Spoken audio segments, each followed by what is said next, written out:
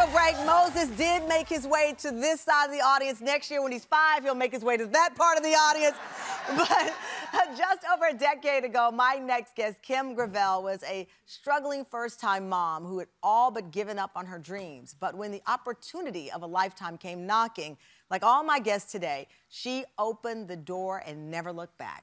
Flash forward to today, the mom of two is the face of a $100 million empire that includes a popular fashion and beauty line, a podcast, hit shows on QVC, including the network's first ever talk show. Well, now the Georgia native is adding author to her list of accomplishments with her raw and powerful new book, Collecting Confidence, where she shares her no nonsense approach to life and her hard earned wisdom, hoping to help inspire readers to find their own path and their own purpose. Please welcome QVC superstar, business mogul, and author Kim Gravel.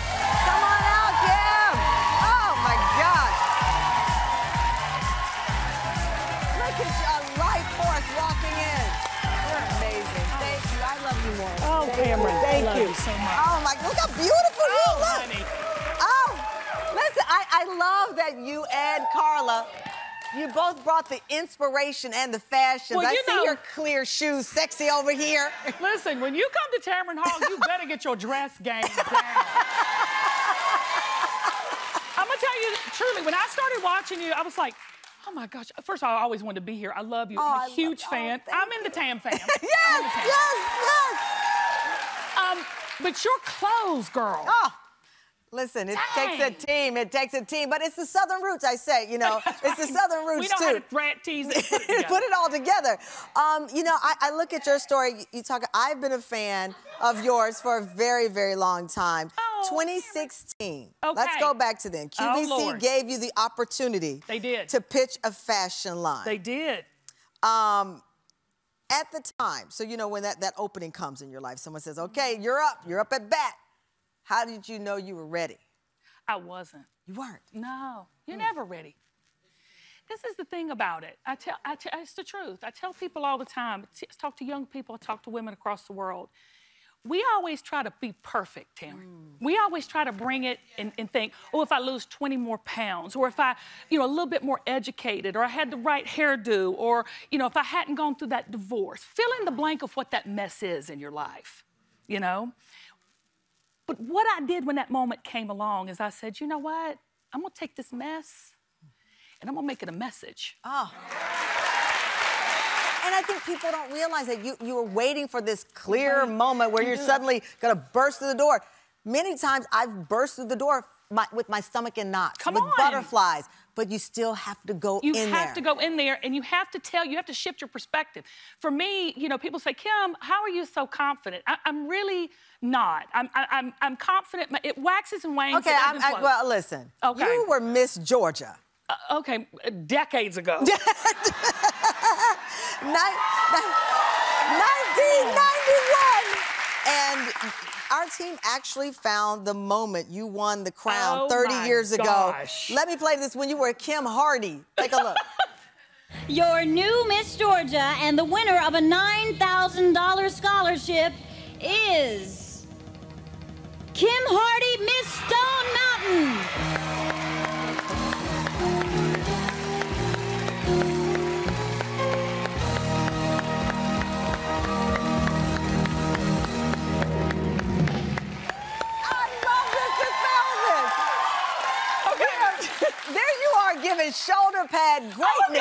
Their bag. They're back in style. Because when you have big shoulders, your your butt, and your waist look a little thinner. Thinner. Is that the secret? Oh yeah. But but this is a big moment because you won Miss Georgia. I did. You went on to compete Miss America. I did. You didn't win, No. but it was one of those. and I don't bring that up to bring up pain, but you said that was the moment. It was an illuminating moment, even in that loss. I learned more from losing Miss America than I ever did from winning Miss Georgia. And I'll tell you, the, the messes make us up. They don't mess us up. Mm. That's true. And, and, and I mean, Lord, I mean, your journey alone has No, been we- it's the truth. You know what I'm It saying? is. I mean, you've been very open about, you know, your marriage, Yes. your all uh, the struggles, Yes. personal struggles, Yes. And still having to, as you say, collecting the confidence because it doesn't. You have to collect it. You got to find. it, You got to build it. You got to well, we've always had it. See, we come into this, I, I look at Moses walking around, I thought, oh, he's so confident. Not shy, go right up to you. We, we are born with the confidence. It's it, the world, I call the world a confidence sucker. It is. And life chips away at that confidence. But I know without a shadow of a doubt, I'm a woman of faith. Mm-hmm. And I know that every single person on this planet has a purpose. Absolutely. They have a calling. Absolutely. Tamron, they have a calling. Listen, coming up, why Kim says, Googling the words, how do you create a reality TV show, set her on a path to fame. We'll be right back. This is the book right here. I love it. I love it. I love it. QVC star Kim Gravel, whose new book, Collecting Confidence, is really a guiding light, I think. And it's so beautifully written. But to get to the light, we got to go through the darkness. Uh-huh. And in the book, you talk about the divorce um, and meeting your now husband. And you reveal that the lowest point of your life came, you were 23. Uh, you, as you put it, were broke, grieving the loss of the Miss America pageant. And here you are in this divorce. How did you reset? Because you met Travis, uh, your husband. When, mm-hmm. when did you meet him? I met him many, many years later um, because there was a lot of healing. Yeah. Tamron you guys have been do. together 22 years. He's yeah. He'd been chasing me like a dog in heat. Sitting in that apartment on Jimmy Carter Boulevard, which is not the most desirable area in Atlanta to live mm. in, it was the best time of my life, girl. Yeah. A lot of times we take for granted those hard times. And I'm going to get emotional talking about it, Tamron, because it's the hard times that really make up who you are. And nothing is an accident. Nothing is an accident. Nothing is an accident. And sometimes the more you go through, Yeah. the more you're getting ready to go to. Yeah.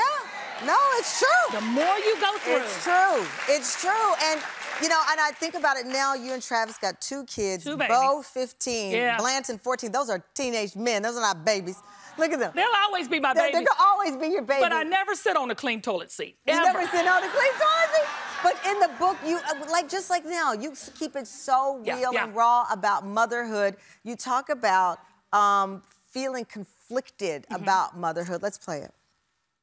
Motherhood is the most confusing, discouraging, loving, amazing time of a woman's life. But mostly it's discombobulating because your life is no longer your own. But you're taking all kinds of cues from the culture about how you're supposed to feel. And honey, you're supposed to be happy, appreciative, satisfied. We live in a culture in which we're told we can have it all and do it all. Well, I couldn't. How are you supposed to have it all when you can't even bathe regularly? Yeah, it's true. It's true. It's a true. It's a. It, it's the it's the it's a coin and it has two sides. It has these beautiful sides where I'm looking over at my baby in the corner, but also realizing I was up at 3 a.m. because my baby was like not sleeping and he's four, it. and I'm like, dude, you're four. It's time to sleep for the night. right. You know, it's it's and and knowing you got to go to work and you have this responsibility. In full transparency, Tar- Tamron, I I lost a little bit of myself when I became a mother. You did? I did. Hmm. I gained so much, but it was it was when I lost when, when I thought my dreams were going to have to die. I thought all of my life was going to be just these boys, and they are to a certain extent. But motherhood is not uh, uh, your calling. No, no. Motherhood is the most important job we'll ever have. Yeah. But motherhood is not the final destination for women. Yeah. Well, that's so true because listen, and I think to your point, it's not your final destination because at some point, there your baby birds are going to fly They're out and they're to find their own path. Yeah. And I have so many other moms who tell me Sure. and remind me. Although I'm as old as Methuselah, having mine. Well, I was an older mom, too. I but the reality is, at some point, Yeah. you'll look up. They'll have their own friends. Yeah. They'll have their own lives, and you want that for them. And so, for them to have that, you've got to find who you are. Right. And it can't be behind them, you know, walking around helicoptering all the time. Right. But when you live your life's purpose, they see you do that. Ah. They're going to emulate. I, I, my very best friend says this. She says, parenting is not what we say or do, it's who we are. Oh. And when they see you live out who you are, that's that's, all we want for our kids. So you, so finding who, who you are. I love this lady in our audience. She's I- I'm telling you right now. She's the best. Listen, you, it's like a whole church in She here. You is know, fabulous. This is Tam Fam for life over here. But you talk about uh, uh, Googling the phrase reality TV Uh-huh. show. Yeah. Why do you think we all should we all Google that? I say anything can be done with Googling God. you know, I uh, I did. I, I Googled. I said, how can I? Because I had this message and this heart and this passion for women to see women rise and be everything they were created to be. And so I said, well, how can I get it on a national platform? So I'll just do a reality TV show. Yeah. I didn't know nothing. Didn't know my butt from the hole in the ground. And I just went click, click, click. How do I do a reality? TV? That's how it started, Tamron. Just Googling it. Just Googling it. But A year later, form- I was on Lifetime. That's a form of speaking into existence. Yes. You say it. Take No. your shot. Shoot your You shot. can't. You gotta shoot your. That is a form of speaking into existence. When people ask me, you know, how do you? do I said, what do you want to do? And when they hesitate, I said. There's your Uh-uh. flaw. Before we go, I gotta ask you the fashion line. I Okay. mean, you have this huge apparel line, We do. Belle by Kim Gravel. Uh-huh. You've got Belle Beauty. All of this success Mm-hmm. manifested by collecting that confidence. just believing in that I had a purpose and I had something to say. My why, my why is my most important thing. Why am I even here today? And it's just to encourage people. I'll add to that. Your your your purpose has been to and this is what makes it so important, I believe. It's one thing to collect the information for yourself. Mm. You've collected the confidence and you have spread the word through this book, Mm. through your shows, through your success, because you want other women to have this too. It's time. It's time. It's time. It is time. Kim's book, Collecting Confidence, is available starting tomorrow. Guess what? Because Kim's mission is to help everyone else. You're all going home with a copy of Kim's book. Wait, wait, that's not it. Oh, that's not it. That's not it. Everyone is getting an assortment of beauty products from Kim's Belle Beauty Collection. So, you will be confident with the book from the inside and beautiful with the products on the outside. Thank you. I love you. You're so